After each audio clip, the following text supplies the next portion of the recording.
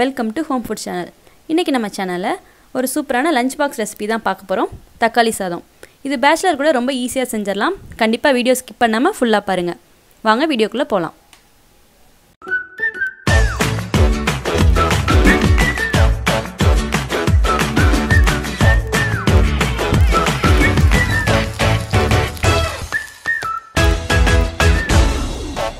தக்காளி சாதம் செய்கிறதுக்கு அடுப்பில் ஒரு பாத்திரத்தை வச்சு ஒரு மூணு ஸ்பூன் அளவுக்கு எண்ணெய் ஊற்றிக்கலாம்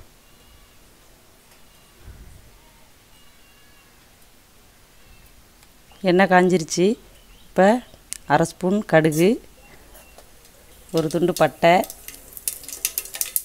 ஒரு அஞ்சு கிராம்பு மூணு ஏலக்காய் ஒரு அரை ஸ்பூன் சோம்பு ஒரு ஸ்பூன் வெள்ளை உருட்டு அரை ஸ்பூன் கடலைப்பருப்பு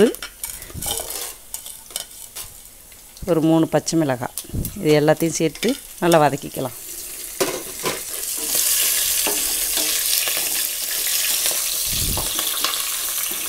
கடலப்பருப்பு உளுந்து எல்லாமே நல்லா வறுபட்டுருச்சு. இப்போ வந்து பெரிய சைஸ் வெங்காயம் ரெண்டு எடுத்திருக்கேன். அதை இதில் சேர்த்துக்கலாம். இது கூட ஒரு ரெண்டு ஸ்பூன் இஞ்சி பூண்டு பேஸ்ட்டு சேர்த்துக்கலாம்.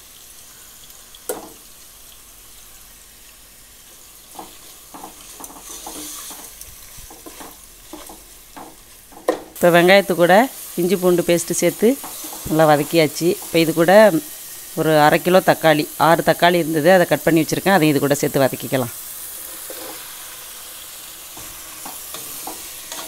கொஞ்சமாக மல்லித்தலை இதோட சேர்த்து நல்லா வதக்கி நல்லா பேஸ்ட் ஆகிற வளைக்கு வரைக்கும் நல்லா வேகணும். இது நல்லா மூடி வச்சிடலாம் அப்படியே வதக்கிட்டு.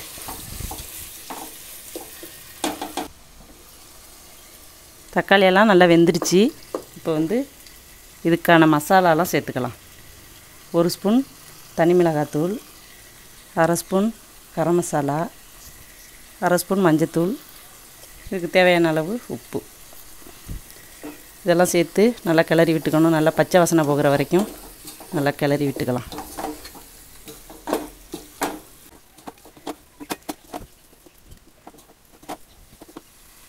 மசாலாலாம் சேர்த்து நல்லா கிரேவி மாதிரி ரெடி பண்ணியாச்சு. இப்போ இது கூட சாதத்தை சேர்த்து கிளறிக்கணும். அதுக்கு வந்து நான் பாஸ்மதி ரைஸ் வந்து கால் கிலோ எடுத்து சாதம் வடித்து வச்சுருக்கேன். அந்த சாதத்தை இது கூட சேர்த்துக்கலாம். சாதத்தை கொஞ்சம் கொஞ்சமாக சேர்த்து கிளறி விட்டுக்கலாம்.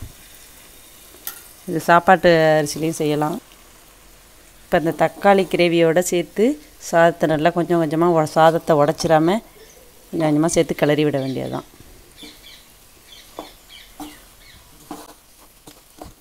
இப்போ தக்காளி கிரேவியோடு சேர்த்து சாதத்தை நல்லா கிளறி விட்டாச்சு. இது கூட கொஞ்சமாக மல்லித்தலை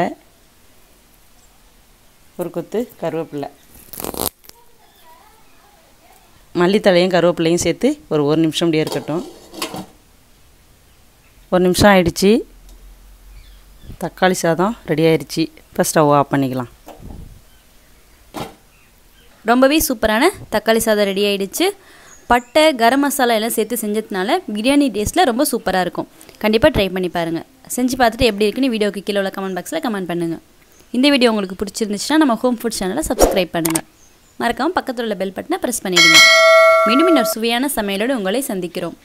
தேங்க்யூ